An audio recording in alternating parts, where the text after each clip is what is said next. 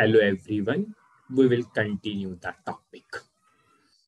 So in the previous video or in the previous lecture, when you are trying to create a subclass from the final class, you are not able to create. But if the class is not final, are you able to create a subclass? Now you can see there is no error. I am able to create a subclass from this class 1. Class 2 is my child class or subclass. Class 1 is my parent class or superclass.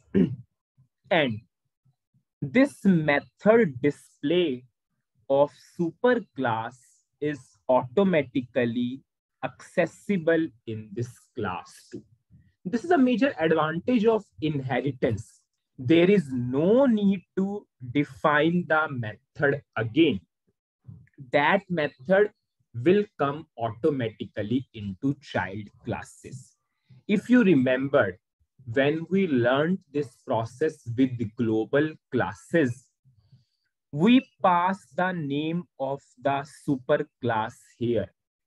The superclass has the method display.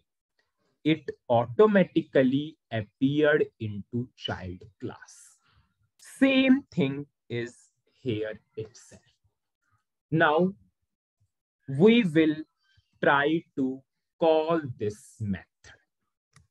I will write start of selection event whenever we will click on the execute button, start of selection event will call. Now, our method is a instance method.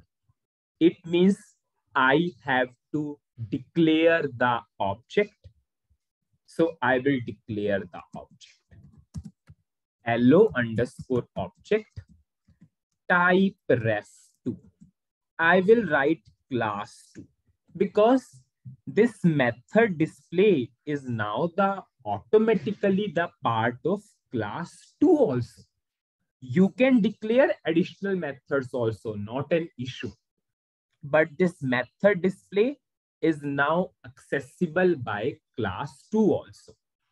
So for the better understanding, I am creating a object of subclass. I will write create object, object. the object is created.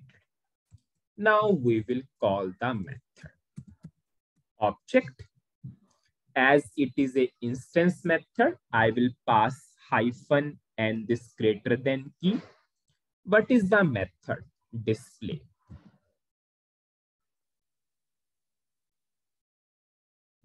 Now, we all know whenever we will call the method, all will interchange. Import will convert to export and export will convert to import. Exporting pvbeln is equal to p underscore vbeln and I will write now importing. Importing per dat is equal to LV underscore ER dat. PER num PER ZDT is equal to LV underscore ER ZDT. PER num is equal to LV underscore ER num. PVB type is equal to LV underscore VB type. I will declare these four variables data. LV underscore ER dat, LV underscore ER num, LV underscore VB type. First, I'll declare LV underscore ER ZDT. And then I will declare LV underscore VB type. I'll check the syntax.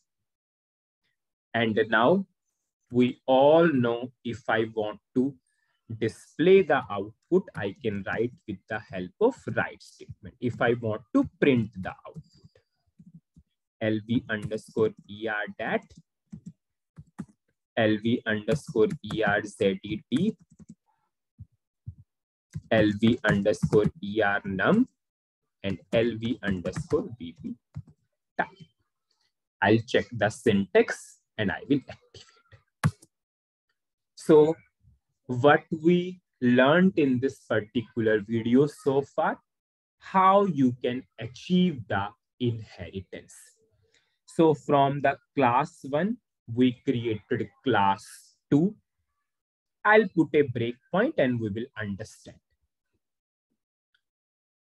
I will put a breakpoint and we will see the execution. I'm passing a sales document number and you can see calling of the method is on 39 number, 38 number line. The object is created. Whenever I will do F5 and you can see it is calling the method display.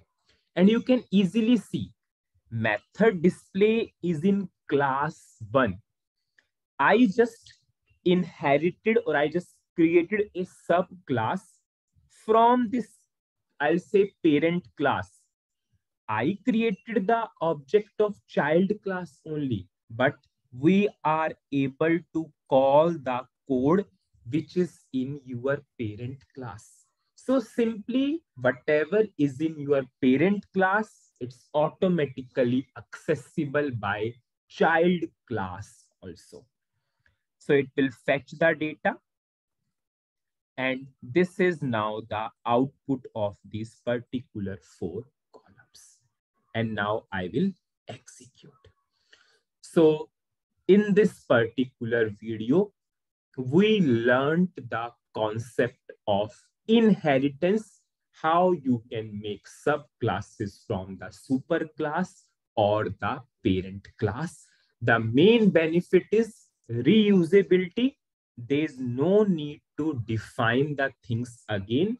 You can use the existing things, plus you can go for your additional things also. Suppose in this case, I just reuse the method display but I can create my additional methods also in the subclass. So that's it in this particular video. Next topic will continue in the next video. Thank you.